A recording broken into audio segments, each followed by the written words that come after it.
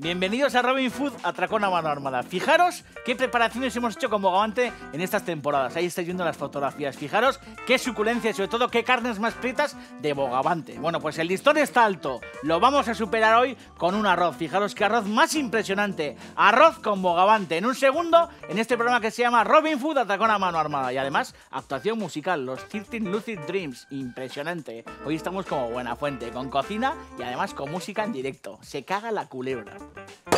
¡Viva Rusia!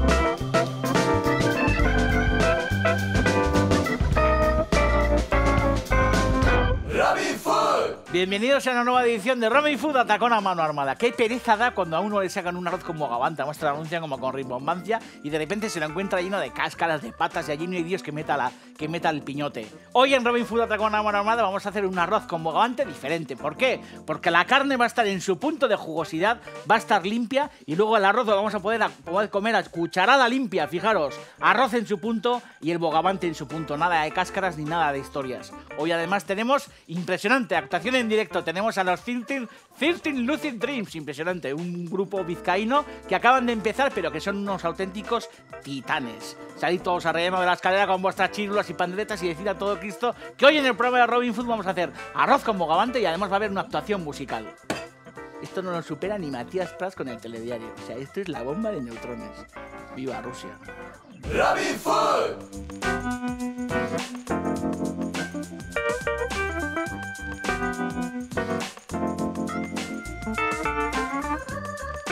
Bueno, pues aquí estamos, preparados para hacer un arroz con bogavante, pero un arroz con bogavante distinto, distinto porque a mí no hay cosa que más me moleste que esos típicos arroces con bogavante, que el arroz está muy rico, pero el bogavante siempre está pasado y además como con la cáscara, que da una pereza increíble meterle la mano y empezar a chupar como si fuéramos coleópteros. Vamos a hacer un arroz como está mandado, un arroz que solamente hace falta la cuchara y nos vamos a comer el arroz en su punto y luego lo importante también el bogavante en su punto, fijaros, fijaros qué ejemplar tengo aquí, típico Robin Hood. Joder, impresionante, ¿eh? Habéis visto que dos muelas más maravillosas tienen los bogavantes. Este además es un bogavante bretón, no tiene nada que ver con el bogavante americano. Es un bogavante, como veis, de patas azules, muy muy bonito. Y la característica de estos bichos es, primero, que pueden llegar a vivir hasta 50 años, que me parece la bomba. O sea, imaginaos un brontosaurio de estos de 50 años. Luego algo chulo también es que son caníbales entre ellos, por eso se les ponen las gomas en las peceras, porque si no al final acaban comiéndose los unos a los otros. Y luego algo muy chulo también es que de estas dos pinzas, la gorda que está aquí la utiliza para triturar, para machacar caparazones, para, bueno, pues para poder meterse el alimento en la boca como Dios manda. Y luego la muela fina, que es esta que está aquí, la utiliza de tijera, la utiliza para cortar. Con esta corta y con esto tritura. Impresionante. Entonces lo que vamos a hacer es con una cazuela, con agua fría, lo que vamos a hacer es meter dentro de nuestro bogavante, porque lo que vamos a hacer es darle ya... Iniptu Domine Pater Filius Espíritu Santo, amén, se ha muerto. Impresionante. Lo que vamos a hacer es meterlo desde agua fría, sin sal, tres minutos de cocción. A partir de que arranque el hervor, que va a arrancar en, cualquier momento el hervor, hace falta contar tres minutos. En cuanto pasen esos tres minutos, lo que haremos será escurrir el bogavante y, como veis, meterlo en un baño de agua helada con un montón de, bueno, pues de hielo pileo de cubitos y ahí sí he añadido sal. Ahí hay un poco de sal, bueno, hay bastante sal, hay como unos puñados de sal. Aquí no hay sal, importante, ¿eh? De esta forma, habéis visto cómo saca las patas como, adiós, adiós mundo cruel, nos vamos a comer luego en arroz impresionante. De esta forma, como os digo, por un lado tendremos un caldo de bogavante, de cocción de bogavante, que nos va a servir para hacer una especie como de americana. Luego lo que haremos será limpiar la carne, esa carne en el último momento se la añadiremos el arroz, al arroz y luego lo que haremos es con esa cabeza utilizarla para hacer un sofrito y para currarnos un arroz con bogavante que se te va a la olla. Aceite de oliva en el fondo de un cacharro. Porque aquí nos vamos a currar una especie de caldo para mojar nuestro arroz como gavante. Esta operación es importante que la hagamos con mucha antelación. Si puede ser la víspera, mucho mejor. Y si no, unas, unas horas antes o de la comida o de la cena. Cabezas de langostino Banamey de nuestros amigos de Pescanova. Que sabéis que hemos utilizado muchos, muchísimos langostinos en los últimos programas haciendo muchísimas recetas. Y os digo que las cáscaras, las cabezas y todas estas historias es muy importante que las guardéis pues para este tipo de preparaciones. Fijaros que nos viene tener estas cabezas aquí para rehogar y sobre todo para hacer, bueno, pues una especie como de sofrito, una especie como de americana ligera que nos va a valer luego para mojar nuestro arroz. Además tengo tomate concentrado, tengo vino blanco, que vamos a meter un buen pelotazo de vino blanco. Además tengo un poco de armañac, porque también le vamos a meter armañac.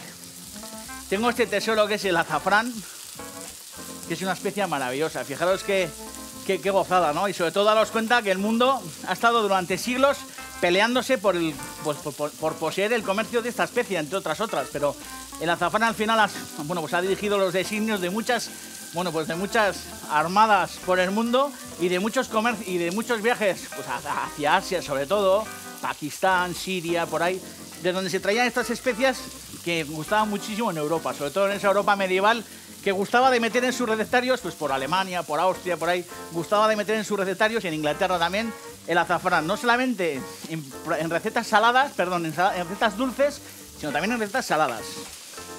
Vamos a meter una cuchara de palo para empezar a darle a esta historia un poco de meneillo. Y luego además tengo ajo y perejil. El ajo lo tengo ya medio majado en el mortero. Fijaros qué chulada. Joder, mortero es un utensilio imprescindible, ¿eh? Lo hemos usado muchísimas veces en el programa. No hace falta ni enchufe ni historias y nos saca de muchísimos apuros. Y luego además perejil. Perejil que vamos a meter ya aquí dentro porque a esto le vamos a dar un poco de zapatilla.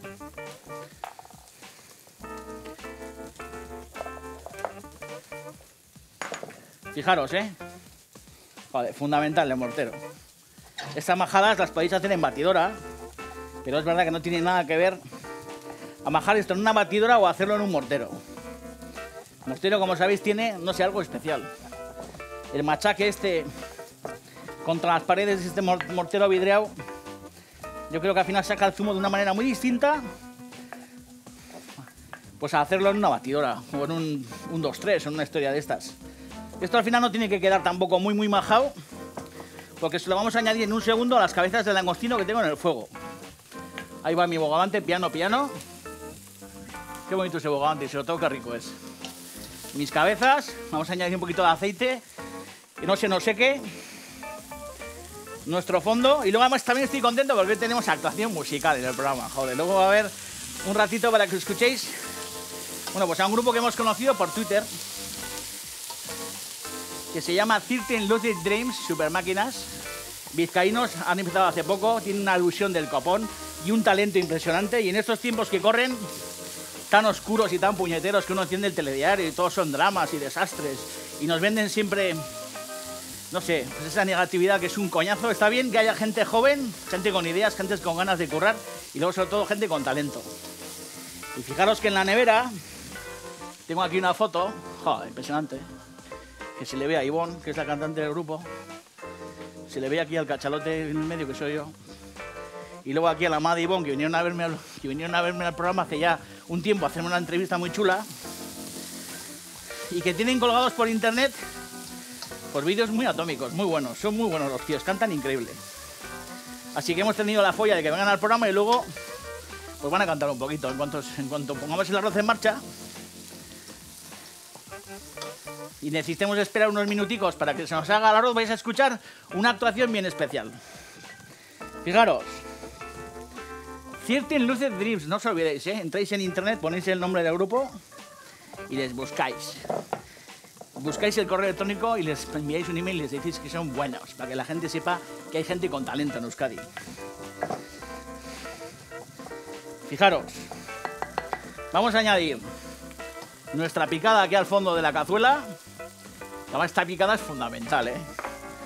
Esta picada yo cuando he hecho americana, sabéis que también hemos añadido este tipo de picadas al fondo porque el perejil y el ajo, joder, le dan un sabor muy especial a este tipo de caldos como luego vamos a hacer un arroz, lo que nos hace falta es sabor. Como diría aquel, sabor es lo que hace falta. Fijaros. Buen nivel, ¿eh? Vamos a añadir un poquito de... Bueno, antes de añadir tomate concentrado le voy a pegar un par de botellazos. Cogéis una botella y fijaros, esto ya lo hicimos cuando hicimos americana. Acordaros, coger una botella y meterle un par de un par de leches a esta historia. Si está llena no pasa nada, ¿eh? Luego la limpiáis y ya está, la ponéis en el cajón y no pasa nada.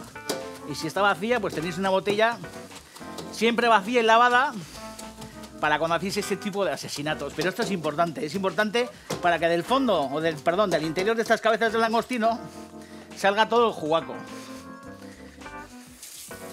¿Veis? Esto le paséis ahí un poquito de agua, o le paséis un trapico y ya está. Fijaros, ¿veis? Cómo la cabeza ha soltado del interior un jugo delicioso. Bueno, pues ese jugo delicioso luego acabará en nuestro arroz. Fijaros, tomate concentrado. Voy a subir el, suel- el fuego. Voy a subir el suelo, iba a decir. Joder, eso también habría que subir, ¿eh? Aquí en cámaras se escojona, Jonchu. Joder, le ha salido una carcajada que no habrá entrado al micro, pero voy a subir el suelo y se, ríe el cabrón. Super máquina. Estamos rodeados de máquinas.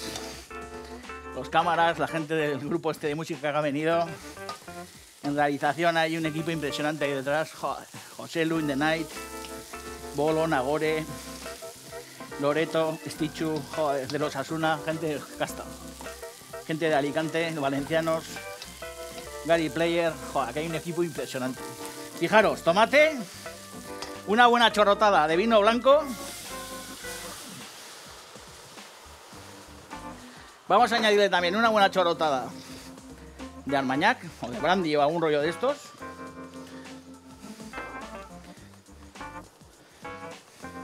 Va piano piano esto, ¿eh?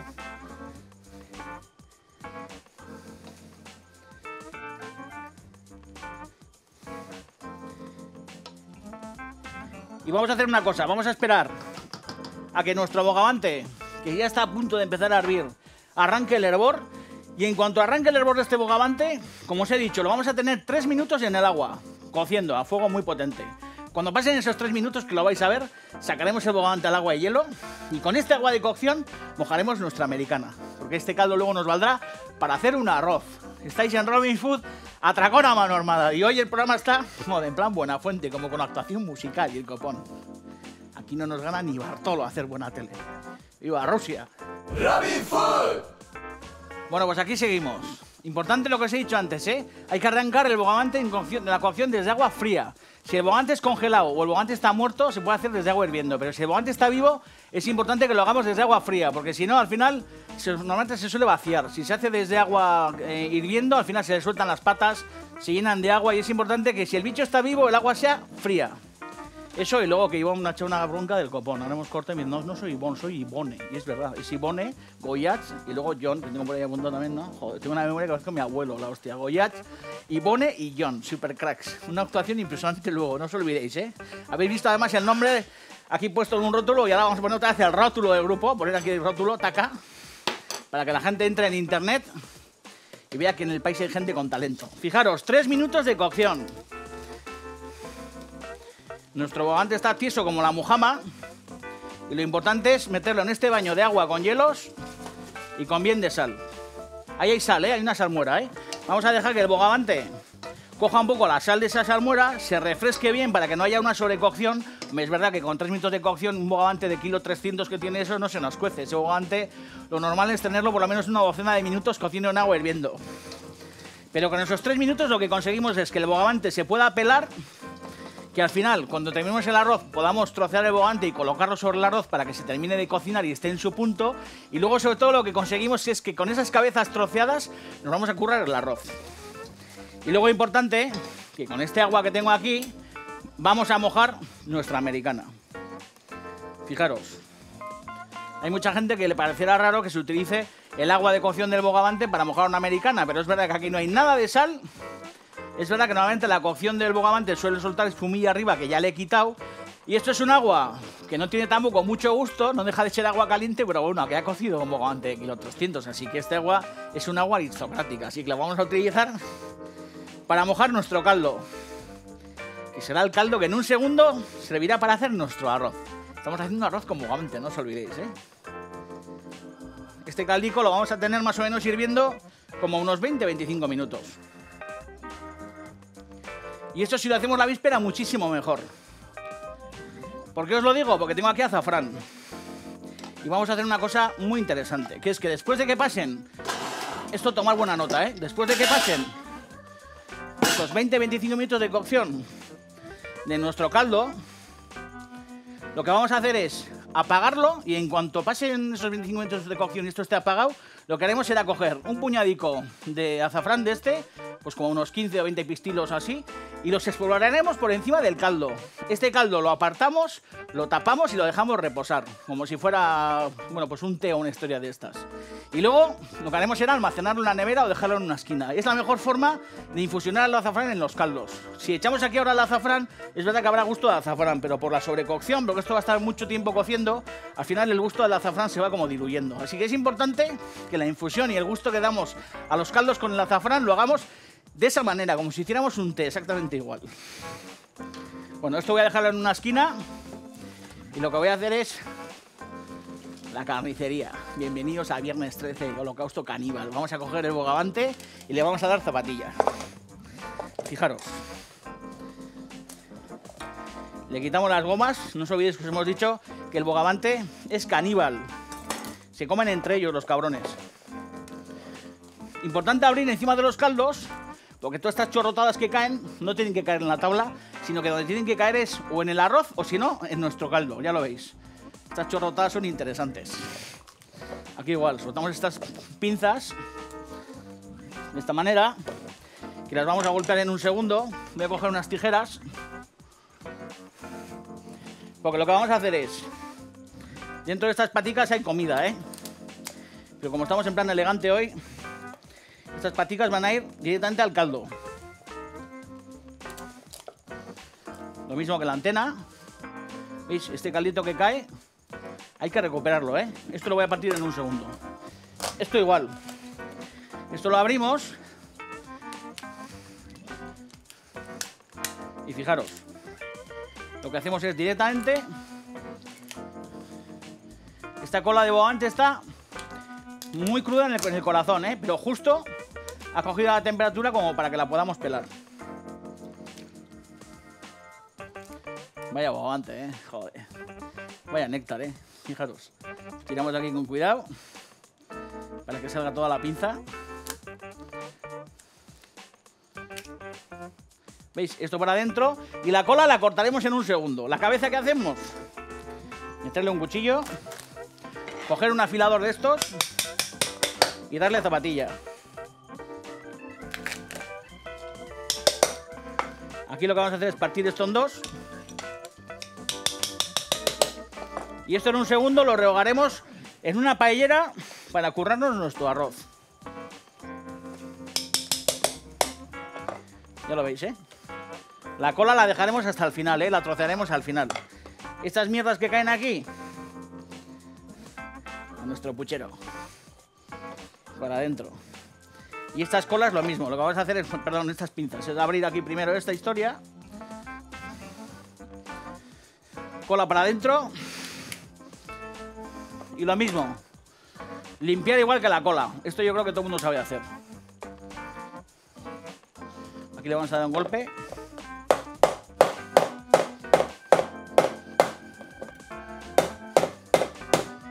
Por los dos lados y luego por arriba. ¿Veis? Para que se nos parta así. Vaya musculatura, eh. Joder, este es Kong. Aquí igual.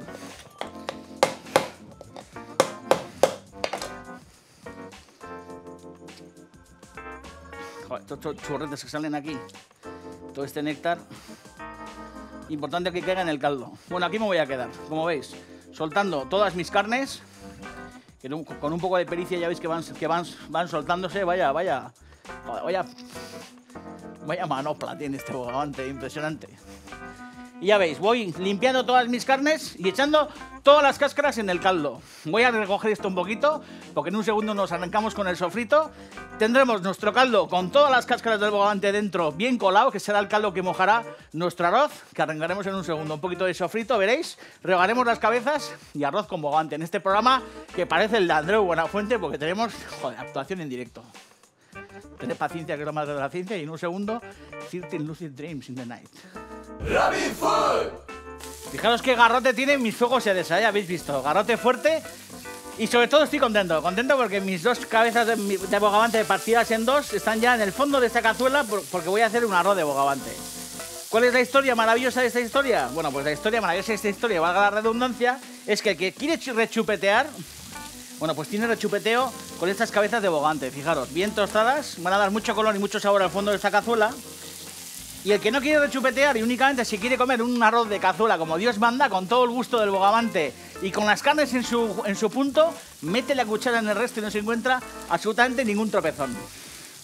Un poquito más de aceite en el fondo. Fijaros, esto que está aquí, que no sé si lo pilla la cámara, son los corales de la cabeza del bogavante, que se están medio, medio achicharrando ahí, maravilloso. Un poquito de cebolleta. Vamos a meter también chalota picada.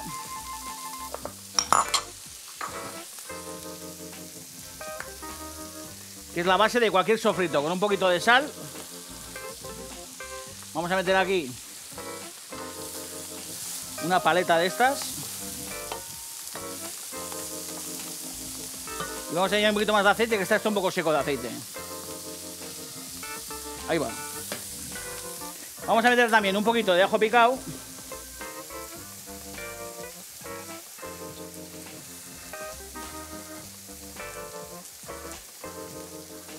Controlando el fuego, ¿eh? Al 8 para que no se, no se nos agarre demasiado. Y tengo aquí otros ingredientes. Tengo pulpa de pimiento choricero de Zubía, que está ahí en su tarro, que le va a dar también mucho, mucha coloración a nuestro sofrito. Luego tengo salsa de tomate. Tengo un poco de pimentón de la vera, que le vamos a añadir un poco de pimentón de la vera. Luego tengo un buen arroz bomba o lo que os dé la gana, un buen arroz poroso, que no sea un arroz de estos de grano alargado, ni basmati, ni historias de estas, sino que sea un arroz que chupe bien todos nuestros jugos. Fijaros, ¿eh? Ahí va, vais moviendo las cabezas, que se vaya cogiendo que vaya cogiendo todo el gusto de todas estas cabezas y toda esta historia que hay aquí en el fondo. Esto es lo bueno, que el que quiere rechupetear, tiene rechupeteo. Y el que no, como os he dicho antes, coge directamente la cuchara y se lanza al grano, al grano de arroz. Fijaros, vamos a añadir un poquito de tomate. Vamos a añadir un buen golpe de pulpa de pimiento choricero. Vamos a meter también otro golpe de pimentón, sin que se nos vaya la olla, porque tampoco queremos que el arroz nos coja demasiado gusto a embutido. Un poquito de pimentón. Y luego aquí al lado tengo mi caldo. Mi caldo de bogavante, que no solamente lo he colado, sino que además lo he puesto a reducir durante unos minutos para que me quede con una coloración bien chula y luego sobre todo me quede bien concentrado de sabor. Y la clave de este arroz es el caldo, que es un caldo muy sabroso, y luego sobre todo la clave es que las carnes de bogavante no tengan una sobrecocción. Añadimos nuestro arroz. Fijaros, ¿eh? Impresionante. Aquí gozando como tiburones.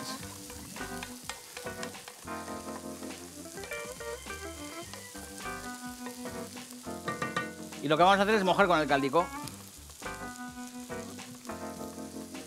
Subiendo de nuevo el fuego para tenerlo durante 5 minutos a fuego muy potente. Y luego bajamos el fuego al mínimo para que el borbotón sea imperceptible y lo vamos a tener otros, yo calculo que otros 7-8 minutos más o menos. ¿Veis? Ahora fuego potente, que haya buena ebullición. Estas cabezas irán soltando todo su jugaco. Este caldo que estoy añadiendo va a empapar los granos de arroz y va a convertir esto en algo muy muy sabroso. Y justo en el último minuto antes de llevar esto a la mesa, lo que haremos será trocear el bogavante y colocarlo por encima. Con el calor del arroz se nos terminará de cocinar el, bogavante, estará justo a su temperatura y nos comeremos un arroz con todo su sabor y un bogavante con toda su tersura y toda su jugosidad. Y ahora, una actuación, ¿eh? 13 Lu- Lucid Dreams. Rabbit Food!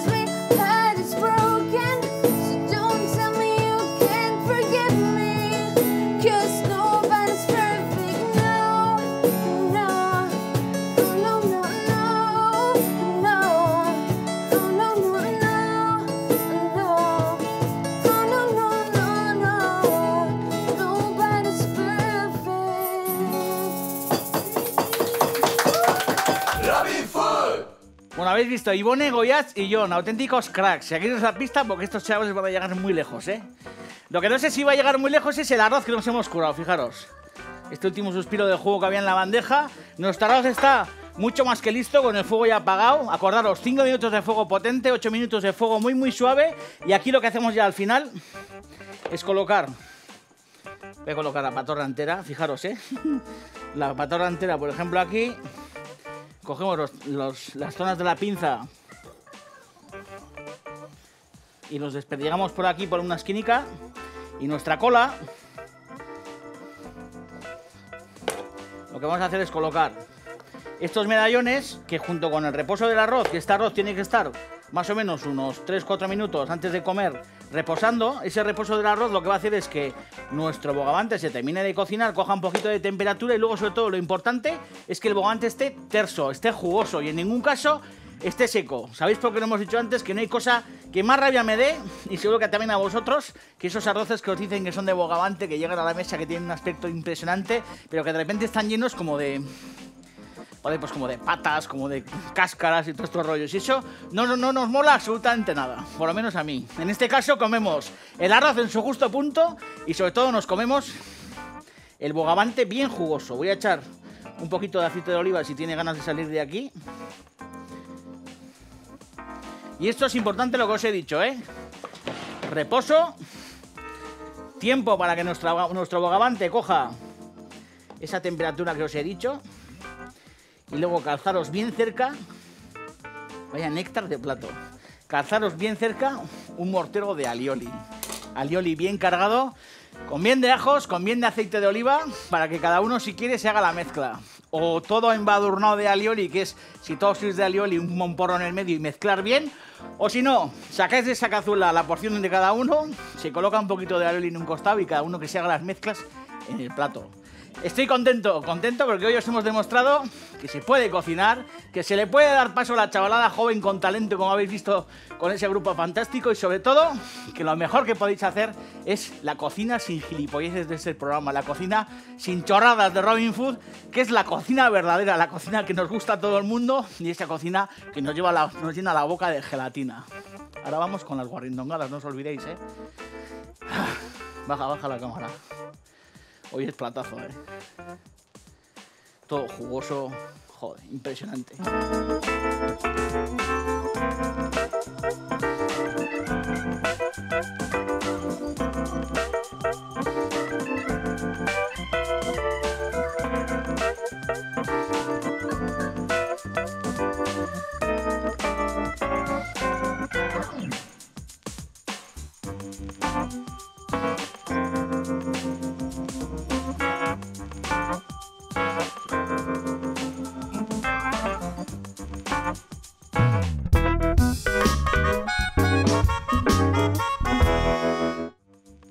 Aquí estamos, terminando la semana. Sabéis que los viernes dedicamos los últimos cinco minutos del programa a las guarrindongadas, que es la mierda en bote que a todo el mundo le gusta comer. Siempre decimos que desde el Papa Boitila hasta Mobutu Sese Seco, todo Cristo tiene una guarrindongada oculta del resto de la familia y del resto de, bueno, pues de amigos y todas estas historias. Todo el mundo nos acercamos a un armario a la noche sin que nadie nos vea para comer esa mezcla imposible que se llama guarrindongada y que sabéis que en nuestro caso yo creo que es la verdadera gastronomía y la verdadera, el verdadero gozo de comer.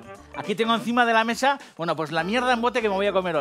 De todas formas, siempre digo lo mismo. Acordaros que no hay nada que, más me gustaría que el lunes toda la gente que estáis en los hospitales, que estáis ingresados, que os han operado, que estáis fastidiados en los hospitales, que nos consta que hay mucha gente que nos ve porque os levantamos el ánimo y estáis enchufados a cables hechos una mierda en la cama, una mierda en bote. Ojalá todos estéis el lunes a las dos y media, mucho mejor y sobre todo en casa, sentados en vuestro sofá con vuestras zapatillas y con vuestra bata viendo el, viendo el programa. Nada nos gustaría más. Y fijaros qué guarrindongadas han llegado esta semana. Desde Donosti, fijaros lo que me dice Izaskun. Soy una fan tuya y de tus reposiciones, ya que no vengo a casa a comer. También te sigo por internet. Soy miembro del club de las guarrindongadas. Pues me crié con bocatas de nocilla con chorizo, delicatessen no apta para todos los paladares. Ahora, a mis 33 tacos, sigo con mis hábitos e incluso invento nuevos, dice. Mi último capricho guarrillo es el siguiente. Machaco aguacate muy maduro, lo extiendo en patatas fritas duras como las de Celigüeta o las de marca blanca del corte inglés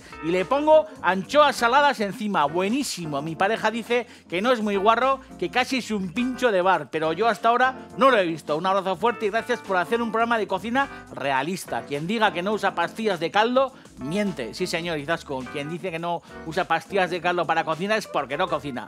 Evelio Azcona desde Pamplona. Cuando me aburro y tengo hambre, puedo ser capaz de, com- de comer múltiples cosas con diferentes mezclas. Ahí va una guarindongada, bocata de tortilla de nocilla con sardinas de lata, tomate, chorizo y un chorro de leche condensada. Para finalizar, se le pone un poco de queso viejo. Aunque parezca mentira, esto está buenísimo. Elisa desde Madrid.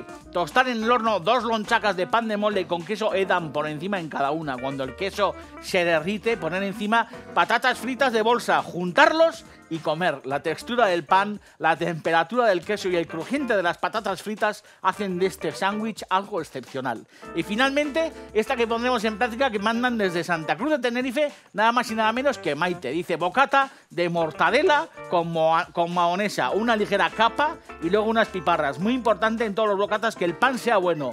Es uno de los dos bocatas que me como la madrugada de fin de año después de currar. El otro es de ventresca de bonito con anchoas y, como no, unas buenas piperras. Algo increíble, pero cierto. ¡Viva Rusia y viva Japón! Dice Maite desde Santa Cruz de Tenerife. Aquí me pongo el super trapo que me han traído aquí los 13 Lucid Dreams in the Night, que es un grupo de Bilbao que son unos campeones. Habéis visto que hoy hemos guisado, habéis visto música en el programa de hoy, porque hemos puesto unos segundos de esa actuación que hemos tenido en el programa de estos campeones que me han regalado. Bueno, pues este trapo italiano con el que voy a probar esta guarrindongada maravillosa, fijaros. Mahonesa en el bollo del pan. Y menos mal que con la chavalada joven tenemos el tema ya resuelto. Con ese talento de la gente joven, porque si tuviéramos que vivir a base de guarrindongadas, fijaros qué asquerosidad, ¿eh? La textura y el color de la mortadela es súper genuino. Parece de Pink Panther, impresionante.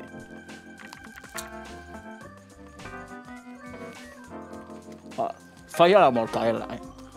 Este que es la que se prepara estas cosas, me ha traído la mortadela más cutre del mercado.